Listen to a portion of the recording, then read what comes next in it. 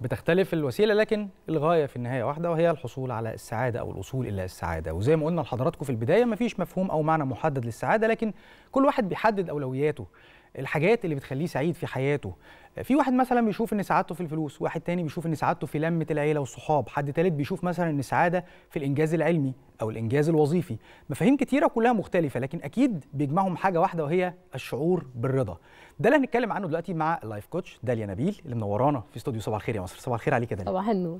صباح. السعادة بقى النهارده يوم السعادة العالمي وأتمنى ليكم وكل الشعب المصري حياة مليانة سعادة ورضا وتفاؤل ونظرة إيجابية والرضا بالموجود. يا رب. طب إزاي الإنسان بقى يوصل للمرحلة دي؟ بالحاجات هي- الحلوة دي كلها. كل الحاجات دي آه. إيه الخطوات اللي ممكن يعملها في حياته عشان يوصل في النهاية لإنه يكون سعيد؟ آه، أول حاجة آه، إيمانك. إيمانك بربك وإيمانك بنفسك وإيمانك إن أنت تستحق. إن أنت تستحق السعادة إن أنت تستحق الحب إن أنت تستحق النجاح الاستحقاق. قصة. الاستحقاق دي بتفرق مع البني آدم إن هو يعني هو أنا يستاهل الموضوع إن أنا أعمل كده ولا لأ. نمرة اتنين التركيز على الإيجابيات. هنركز على الحلو اللي في نفسك والحلو اللي في محيطك والحلو اللي الدولة بتعمله علشان أنت تبقى مبسوط وسعيد. لو ركزنا على الإيجابيات آه، بتزيد. كل ما بنركز على حاجة على فكرة أو على منظور أو على شخص الحاجة دي بتزيد. لو ركزنا على السلبيات هتزيد لو ركزنا على الإيجابيات ه- هتزيد. فلو ركزنا على الإيجابيات السعادة أوتوماتيك أو الإيجابية بتنطلق من جواك علشان تأثر على كل اللي حواليك. ده بمفهوم إن السعادة قرار يعني. أيوه ما هو بغض النظر عن. إنه كل الناس على مختلف أعمارها وبتشتغل إيه وكل التفاصيل بتاعت حياتنا دي لكن كل الناس عندها أزمات وبتمر بأزمات. لكن إزاي وسط كل الأزمات دي أفضل مركز إنه أشوف الإيجابيات زي ما انت بتقولي اللي هو نعملها إزاي؟ علشان تفضل سعيد وراضي. آه عندك مشاكل آه عندك أزمات لكن ربنا مديك حاجات تانية كتير كويسة. وما نفضلش دايما بنبص على ناقص فما نبقاش حاسين بالسعادة. ما هو ال mindset إن انت تركزي أو آه، شكل التفكير إن انت تركزي على اللي عندك مش اللي اللي مش عندك مم. هو ده يعني عنصر أساسي جدا في تحقيق السعادة. وإيه اللي موجود في اللي حواليا؟ آه، تالت حاجة مساعدة الآخرين. إن أنا لما بساعد الآخرين بيديني ثلاث حاجات. بيديني ثقة في نفسي إن أنا أستاهل إن أنا أعمل حاجة كويسة أو إن أنا بعمل حاجات مؤثرة للناس اللي حواليا. تاني حاجة بتديني نوع من أنواع الأمان إن أنا لما بحتاج حاجة هلاقي اللي غيري اللي. بيعملها لي. ده رابع حاجة و... ودي اتعملت عليها دراسات كتير جدا إن العلاقات السوية المتزنة سبب أساسي من أسباب السعادة. العلاقات السوية نعرفها إزاي؟ تبقى العلاقة رايح جاي. هات وخد. العلاقة ما يبقاش فيها وان واي مم. والعلاقة كمان بتزود من استقراري النفسي وبتزود من سعادتي على يعني بشكل عام أو في مجمل الأحداث. مم. العلاقات السوية دي بت بتدينا طاقة إيجابية وبتخلينا دايما في استقرار. عارفة ل- لمة العيلة زمان كنا مم. بنقول إن هي دي السبب الأساسي اللي كانت مخلية الأسرة المصرية مترابطة مم. بتواجه كل الأزمات بتقدر تعدي كل المحن ودي التجربة الحقيقية يعني سواء ثورات أو آه، جائحة كورونا أو حاجة اللمة هي اللي بتخلينا أو الونس هو اللي بيخلينا نقدر نتغاضى عن الحاجات دي طيب لو أنا مش عندي علاقات سوية أو العلاقات اللي حواليا سامة مم. أعرفها إزاي دايما بتاخد من طاقتي بتقلل من سعادتي بتستنزف الطاقة اللي جوايا. الفرق بين إن أنا أكون سبب في المشكلة مش هي العلاقة اللي سامة لكن أنا كمان جزء من المشكلة.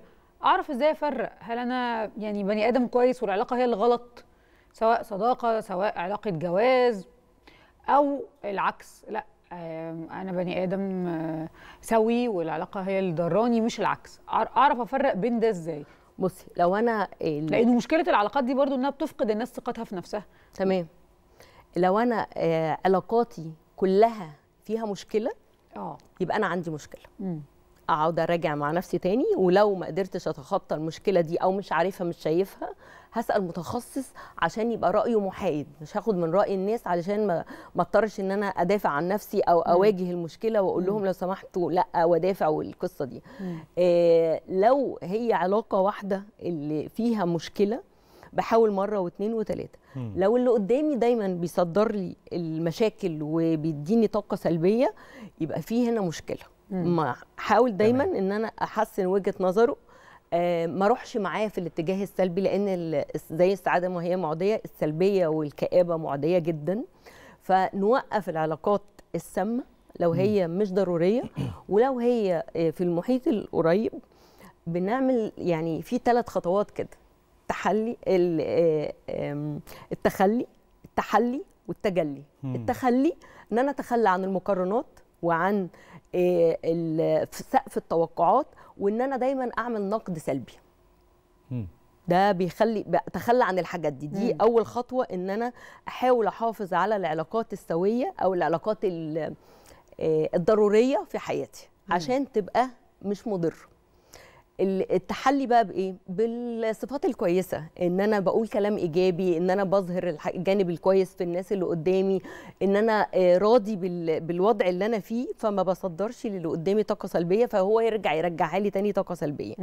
وبعدين يجي دور التحلي بقى إن أنا لما بقى ال- التجلي إن أنا أتجلى يجي لي البدائل الحلوة يجي لي العوض يجي لي أبواب تانية تتفتح. الكلام ده بالنسبة للأفكار بالنسبة للأشخاص وبالنسبة للمع... يعني الحاجات اللي أنا مؤمنة بيها في الحياة. عظيم. لو دايما بقى.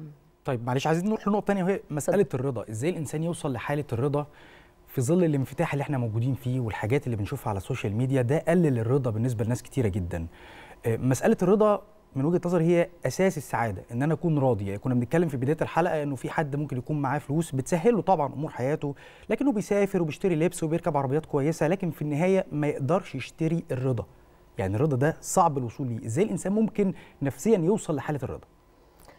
معلش يا داليا قبل ما تجاوبي وال- والفرق بين إن أنا أكون راضي عن حياتي وإن أنا أكون طموح وطموحي ده ما يبقاش بيعمل لي حالة من الكآبة إنه أنا لسه عايز أكتر فبقى مكتئب إن أنا ما عرفتش أوصل له. بصي ال- الرضا آه، ده هنوصل له بالخطوة الخامسة اللي أنا كنت هكملها في آه، في روشتة السعادة إن أنا هيرا ناو إن أنا أعيش اللحظة مم. أستمتع باللي موجود أحس بمميزات آه، الحياة اللي أنا عايش فيها دلوقتي مم. أبقى راضي عن كل حاجة بعملها يعني أنا أحسن حاجة عملتها في شغلي النهارده اللي هي مكتوبة لي اللي أنا أقدر أعملها ولو مش هي يبقى أنا تاني يوم بدل ما أقعد ألوم نفسي تاني يوم أبتدي أشتغل إن هو إزاي تكون أحسن مم. فقصة إن أنا هيرا ناو الآن وفي اللحظة دي بتخليني أركز دايما على الحاضر لا الماضي ولا المستقبل. وادي لنفسي فرصة أفرح بالإنجاز اللي أنا حققته. ده كويس جدا. لا طول ما أنت عايش في الحاجة اللي أنت عملتها دلوقتي واتبسطت بيها أو هي نص نص فبتحسنها بتخلي الواحد دايما في حالة من يعني السلام النفسي والاستقرار العاطفي اللي مش بتخلينا ده في توتر. التوتر اللي أنا أبص على المستقبل أو أندم على الماضي. بيخليني دايما منزعج. الانزعاج ده بيفقدنا كل انواع الرضا. أنا مش راضي على اللي فات وخايف من اللي جاي فانا مش عايش اللحظة. فكده مفيش رضا. فلو ركزنا على ال- الوقت الحالي هنقدر نوصل لمرحلة الرضا. طبعا بالقرب من ربنا والعبادات والحاجات دي كلها إن ربنا دايما بيعمل الخير وإن الأحسن حاجة حصلت لي دلوقتي هي اللي ربنا كاتبها ومفيش أحسن منها. ده أقصى ما عندي طب, طب هو يا داليا هي شعورك بالسعادة مثلا عن حاجة عن حاجة أنجزتها أو شيء وصلت له. هو ده شعور بيبقى وقتي. وبعد كام ساعة بترجع تبتدي تاني آه، تنكد بقى على نفسك بأي أفكار تانية وتنسى الانبساط اللي كنت فيه من شوية. وإيه الفرق بين ال- الأشياء اللي ممكن تسبب لي سعادة مؤقتة والأشياء اللي ممكن تسبب لي آه، سعادة مستمرة؟ وأنا أشتغل على ده إزاي؟ لو أنا بشتغل على هدف مش بتاعي. عايزة أقلد حد عايزة أعمل حاجة آه، بابا أو آه، جوزي أو ولادي نفسهم إن أنا يشوفوني فيها مم. هيبقى بعملها بعمل تاسك وخلاص خلصنا مم. إنما لو هو ده هدف أساسي من أهدافي أنا اللي هتشبع لي رغباتي وطموحاتي وهتخليني ماشي في خطوات ثابتة عشان أوصل من مرحلة للتانية وأقسم ال- الهدف ده لخطوات وكل ما أعمل هدف أستمتع وأتبسط وزي ما شاذلي قال إن إحنا يعني نحتفل بإن إحنا حققنا نوع من أنواع الإنجاز حتى لو بسيط. طيب إزاي الإنسان يبعد عن النكد؟ معلش السؤال صعب بس إزاي يبعد عن النكد؟ يعني عشان يقدر يحس بالرضا فيسعد. آه. طيب بص طول ما إحنا عاملين العنوان نبعد عن النكد مم. العقل ال... بيركز على عليه. ال- على كلمة الكلمة، النكد. على مم. النكد ما بيشوفش الحاجات اللي قبلها مم. فازاي الانسان يقرب من السعادة مم. إزاي الانسان يوصل للسعادة واقعد مع الناس السعداء اقعد مع مم. الناس الإيجابية اقعد مع الناس اللي عندها أهداف وبتحققها عظيم. يعني لو في عنوان كيف تصل للسعاده بلاش كيف تتخلص من النكد لأن آه. العنوان في حد ذاته برضه ممكن يخلي الإنسان عايش في نكد مش بي مش ممكن ده آه، هو ده أكيد. أكيد, آه. العقل اللاواعي بيركز على ال الكلمة المهمة اللي في الجملة أو مم. أنت قلت إزاي ما كذا كل ده هو مش شايفه هو بيركز على النكد فتعالى نكتبها تاني ونكتب اللي في الآخر ده سعادة إزاي نوصل للسعادة هو ده اللي هيخلينا بي بيجذب كل الوسائل و- والمساعدات والفرص وال يعني الحاجات الابواب بتتفتح اوتوماتيك لأنك بتدي إشارات إيجابية للكون إن هو يجذب لك الحاجة اللي أنت عايزها. فإحنا لو خليناها نكد هيجيب لك. لو خليناها سعاده هيجيب لك السعاده إزاي جوه البيوت الناس تساعد بعض علشان يكونوا راضيين وسعداء؟ يعني أعتقد إنه مسألة الطفل اللي بيتربى في بيت سعيد هيطلع مختلف خالص عن طفل اتربى في بيت مليان نكد الناس جوه البيوت تساعد بعض إزاي؟ خصوصا إن إحنا بقينا نشوف مثلا انتقادات لاذعه مثلا بين الزوجين وممكن يكون ده قدام الأطفال. ومثلا تكلميه ما ينفعش تقولي الكلام ده. ما لا أصلا الحاجات دي مضايقاني وتلاقي العكس من الزوجة. إزاي الناس يعني تهون كده على بعض الدنيا ويبقوا بيتعاملوا مع بعض بطريقة تخلي البيت فعلا كله بيشعر بالسعادة؟ اولا كل واحد مسؤول عن سعادته الشخصية. مم. ما يحملش اللي قدامه إن هو المسؤول إن هو يسعده. وبالذات الراجل والست. وكل مسؤول عن أسرة أو كيان أو مؤسسة محافظة أو آه. مؤسسة أو حكومة ايا كان يبقى هدفه الأساسي حاطط عنوان كده السعادة. إن أنا إزاي أسعد الناس اللي موجودين معايا في الكيان. هنرجع للأسرة. الأسرة آم، الأب والأم بيهتموا بالصحة وبالتعليم وبالأكل والشرب. تيجي تقول لهم طب أنت بتعمل إيه عشان تسعدهم؟ ما أنا بعمل كل أنا حاجة بعمل عملت نظره كل حاجة. كل حاجة. أنا طول عمري بديكوا أكثر أيوه فين جزء السعادة؟ مش موجود. مش بن مش بنركز عليه. طب نعمله إزاي؟ إن إحنا ال quality of time إن إحنا نستخ وقت ب- ب quality بجودة كويسة علشان نقدر نسمع ولادنا ونسمع الطرف الآخر اللي في البيت نديله اللي هو محتاجه ونوص بعد ما نسمع منه هنفهم هو محتاج إيه. فلما نديهوله أو نتكلم إن إحنا إزاي هنديهوله نبتدي يبقى عنده مساحة إن هو يسمعنا إن إحنا إحنا كمان محتاجين إيه. فتبقى العلاقة زي ما قلنا في الأول علاقة سوية رايح جاي. أنا بدي وباخد مش ب... مش وان واي. الأطفال محتاجين آه، نركز معاهم بس شوية هم عندهم إيه مختلف. يعني عندي ثلاث أطفال. مم. كل واحد مش زي التاني. ممنوع المقارنات تماما. ما ينفعش أساوي حد بالتاني أصل ده متفوق دراسيا. هتلاقي التاني متفوق آه، رياضيا. هتلاقي ده متفوق آه، في موهبة. مم. لو قارنت أو وحدت آه، المؤشر العلاقات الإخوات بتبوظ ومحدش فيهم بيوصل للي هم عايزين للي هو عايزه. دايما. هيبقى بيسبب بيحاول يحقق التارجت اللي ال- الأب والأم عايزينه. انت اتكلمت في نقطة أنا شخصيا لمستها أنا مسألة شايفاك. العناوين آه يعني أنا قعدت فكرت أنا في group على الواتساب في ده مخصص للمشاكل الع- العائليه بسم الله الرحمن هقول لك. بس هقول لك هقول لك ال group ده وإحنا عاملينه حاطين اسم ال group وحاطين جنبه emotion smile face أو حد بيضحك فأنا آه. لما بدخل وبشوف الإشعارات جت أو notifications جت على ال group ده ما بدخلش مخضوض دلوقتي بدخل. هادي شوية من خلال ال emotion. فده بيأكد كلامك إن هو طبعا. كيفية الوصول للسعادة مش كيفية التخلص من النكد حلو قوي. آه. أنا بقى يعني نفسي في كل جروب صحاب أو آه، في عيلة. كل شوية نمسك حد زي بدل ما بنطلعه على المسرح عشان نتريق عليه أو نتنمر عليه لا نطلعه على المسرح عشان نقول له الإيجابيات الحلوة اللي فيه مم. لو عملناها لعبة مرة وده الحقيقة بيفرق قوي في حياتنا دايما مساله جداً. الدعم النفسي من الناس اللي حوالينا نعمة كبيرة جدا جدا في حياتنا بتساعد في كل حاجة سواء أنت في أزمة أو أنت كمان أنجزت إنجاز كبير ما بتحسش بيه غير بشعور الناس اللي حواليك أنا بقى نفسي ده يحصل من غير ما يبقى في أزمة أو في إنجاز مم. لا فرح ده ولا حزن الطبيعي. ده الطبيعي. النهارده شكلك حلو على فكرة آه، أنا بحبك. على فكرة أنت شجع آه، شجاع. أنت جدع أنت. شهم. انت ضحكتك حلوة. أنت شكلك حلو النهارده الحاجات دي لو هي عادة إن إحنا بدل ما ننتقد إحنا اتعودنا إن إحنا شكل حلو بس مش عارفة في إيه في. في الكرافات. لازم بس. آه، بس. طب ما تيجوا نغيرها؟ أنا مش هاخد بالي من الكلمة الأولانية بتاعت. شكلك حلو. أنا آه. اخد بالي من بعد بس على بس.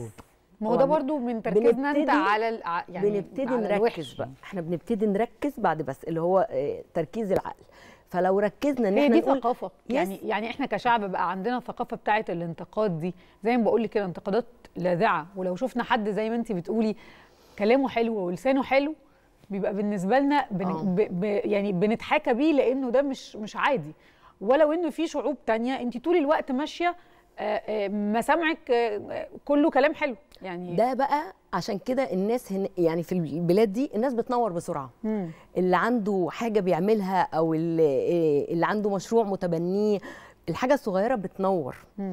أنا صادفت الموضوع ده لما سافرت أمريكا وابتديت أدرب اللاجئين العرب هناك بمجهود بسيط جدا هم قدروا حاجة كبيره وحسوا إنها حاجة كبيرة جدا إن أنا إزاي بساعد اللاجئ إن هو يتأقلم وشوية ولقيت نفسي في الأمم المتحدة بحاضر عن السعادة عشان أبقى أكون أول مصرية وعربية بتحاضر عن السعادة في الأمم المتحدة وصحيت الصبح لقيت كل الصحافة كاتبة مصرية بتحتفل بالسعادة ده. والسنة اللي بعدها.